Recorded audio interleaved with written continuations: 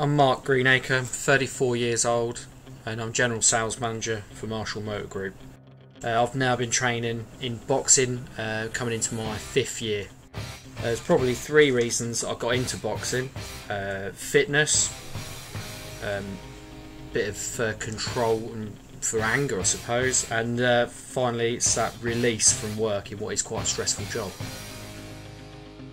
So boxing influences my work in a couple of ways. Really, it is a release um, for, for stress and that pressure. It's nice to uh, get into the ring and just release that.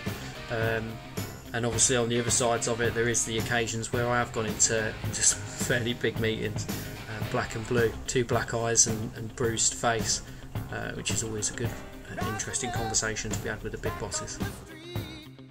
I like to train for Tough Mudders. 10 mile off-road assault courses. Um, yeah, I've got heavily into to that since since doing the boxing as well. Now fitness has gone through the roof.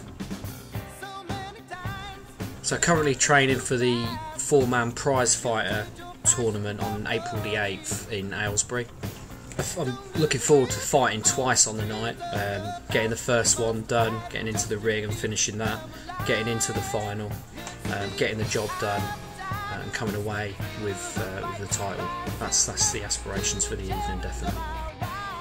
People that have followed me over the last couple of years um, competing in the ring will know that uh, I do come for a war.